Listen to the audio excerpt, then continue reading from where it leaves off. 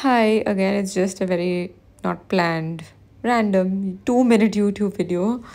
I am uh, checking the light for a special guest who's come today after inviting her over a month. Yeah, still she's busy.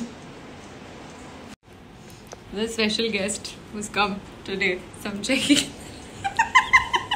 तैयार हो रही है दिशा दीदी। To sunscreen to face my audience I have to put a sunscreen when I meet Hailey because is so much light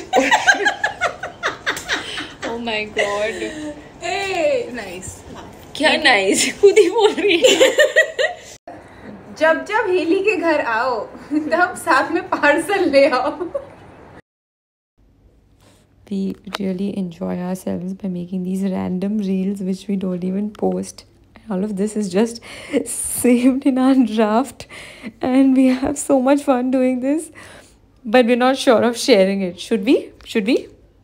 I think i'm going to do another session only on youtube with some unfiltered madness. Wait for it okay? Wait for it